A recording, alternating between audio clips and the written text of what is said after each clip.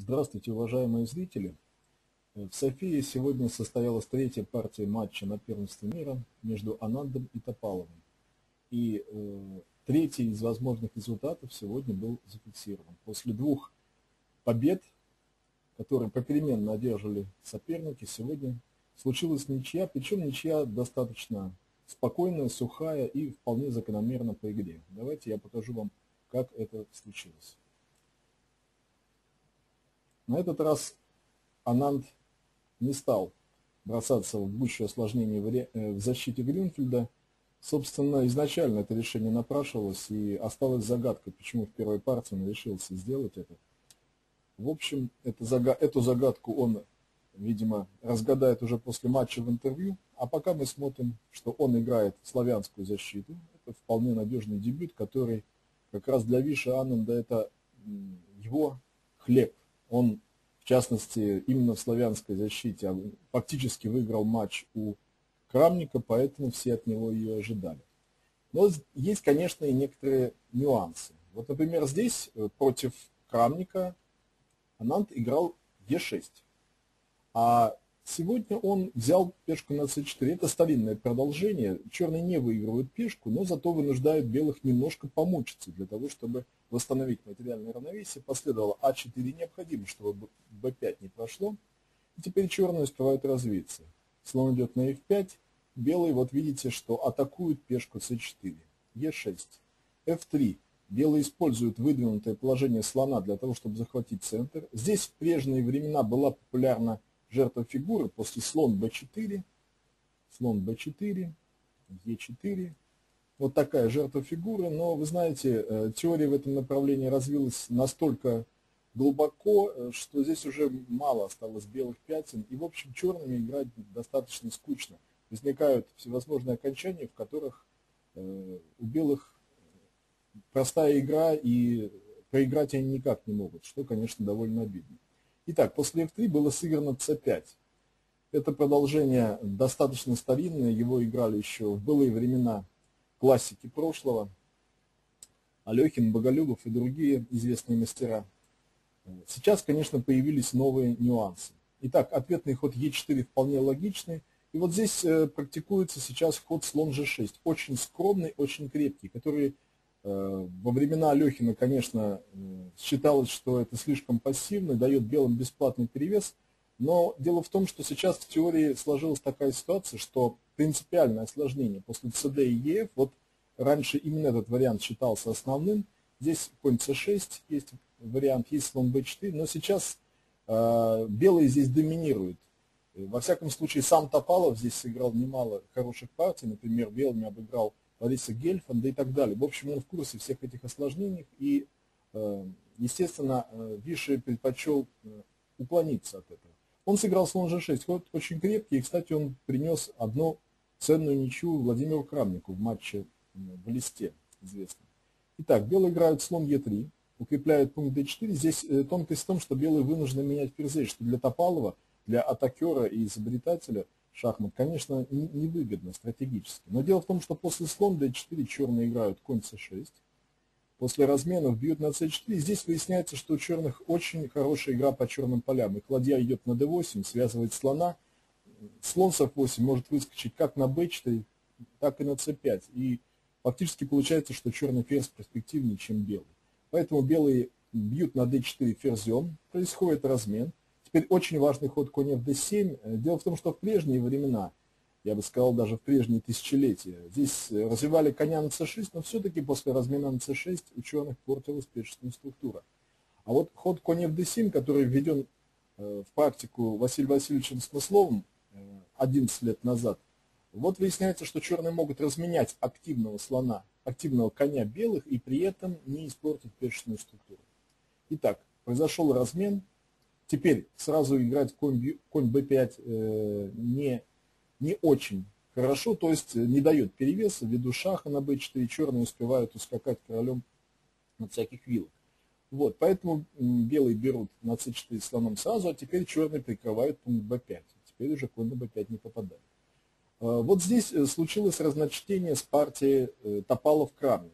В той партии Топалов играл король Е2, ладья G8 и вот так по-простецки выводил ладью в центр. В этом, кстати, есть определенный смысл. Сейчас вы увидите какой. Во всяком случае, эта разница оказалась неочевидной. И кое в чем Топалов выиграл, а кое в чем проиграл. Он сыграл ладья c1, оставляя пока ладью на h1. Последовал ладья g8, ход программный, потому что защищается пешка g7, и у слона f8 появляется возможность выйти в бой. А, вот теперь было сыграно h4. Как видите, ладья на h1 все-таки имеет некоторую силу, угрожает h5 с поимкой слона. h6. Это логично. Э, готовим норку для слона.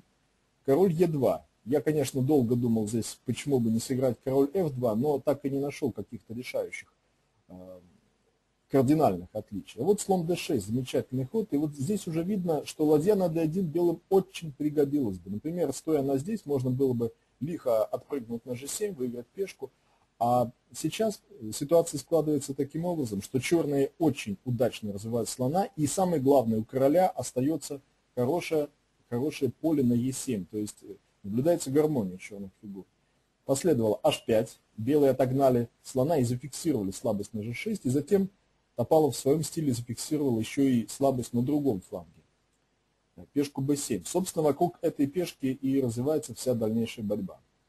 Э, здесь, конечно, э, напрашивался выпад черного слона на b4, чтобы съесть эту пешку, но мне кажется, э, Виши очень грамотно не сделал это. Дело в том, что После слон b4 белые, судя по всему, заготовили вот такую яркую жертву. Играют конь а4, вовсе не защищают. И на слон бьет опять, предлагают жертву второй. Вот здесь э, разворачиваются очень острые варианты, которые первоначально компьютер оценивает как вполне приятные для черных. На всякий случай все-таки пешка лишняя, и не обязательно ее брать. Но вы знаете, в анализе, я потом после партии немножко посмотрел, все-таки у, у черных есть реальные проблемы, потому что у них пока две фигуры эм, вне, э, вне поля боя, не участвуют в борьбе, а у белых все пять фигур могут активно работать. Вот посмотрите примерный вариант. Допустим, берем на b4, ладья b1, a5. Здесь после хода слон b5 я во время онлайна завершил уже рассмотрение и сказал, что черные несут потери, но потом задумался, а почему, собственно, играем 3 нуля. На слон бьет d7, можем на самом деле ладьей побить и королем. Так вот здесь белые делают тихий ход ладья d1 и начинают просто методично, потихонечку осаждать черных. Ну, угрожает шах, взятие на d7, слон e5, конь b8, вполне логичный вариант, переводим коня на c6, казалось бы, что грозит. Тогда следует еще один тихий ход, слон e5, и угрожает мат черному королю. Значит, надо для этого короля сделать форточку, как говорят, b6. Форточка есть, но здесь наступает другая беда, что белый ходом ладья c1 Отправляют ладью на c7. Уходить на b7 нельзя из-за мата в два хода, уходить на d8 нельзя из-за потери коня. А слон c5 белые берут пешку и возвращаются назад, и все-таки стараются проникнуть ладью на c7. И после слон b6 следует завершающий ход комбинации ладья b1, после чего черный уже беззащитный. Я, конечно, э, не думаю, что Ананд досчитал до такого э, состояния этот вариант. Он просто в какой-то момент оборвал расчет, почувствовал, почувствовав, что позиция экстремально опасна. Он сыграл после, опять он сделал здравый человеческий ход король Е7, абсолютно правильно сделал. Итак, белые продолжают свою экспансию на ферзевом фланге. F6, еще один э, грамотный ход, черные прикрыли пешку G7, теперь ладья свободна для того, чтобы выйти в бой. B4, достаточно энергичная игра, здесь соперники действовали просто блестяще, надо сказать. Опять-таки, э, довольно опасно здесь брать пешку, хотя вот прямого выигрыша не находится. После взятия на b4, ладья b1, слон a5, берем на b7. Э, вот я изначально считал только взятие на b7 и рассчитал такой вариант, что после размена ладей здесь черные спасаются единственным ходом король d6 восклицательный знак, то есть не пускают никакую фигуру белых на c5, и здесь, видимо, черный держится, хотя белые, скорее всего, отыграют пешку. Но вы знаете, вот э, по пути к этой позиции, вот здесь, вместо естественного хода ладья бьет b7, есть очень интересный выпад конь c5. И вот здесь начинаются у черных некоторые проблемы. Потому что опять-таки опять-таки у них э, не хватает бойцов на передовой и, в общем, возможно, проблемы с королем. И здесь надо было, что называется, откопать, поднять ход b5, фантастический, пожертвовать качество, и вот здесь вот доказать, что у черных за качество есть хорошая игра благодаря двум слонам. Но это совершенно нереальная задача. Так что опять-таки решение Ананда не взять пешку на b4 абсолютно оправдано. Он сыграл ладья g на c8, лишний раз продемонстрировал свое тонкое понимание и чувство опасности. Здесь э, позиция довольно сложная, и все-таки было ощущение, что белые могут как-то нагнетать инициативу. Во всяком случае, пока слон на h7, пока ладья на a8, еще есть какое-то ощущение, что у белых есть инициатива. Э, я здесь изучал много разных продолжений. Вот, например,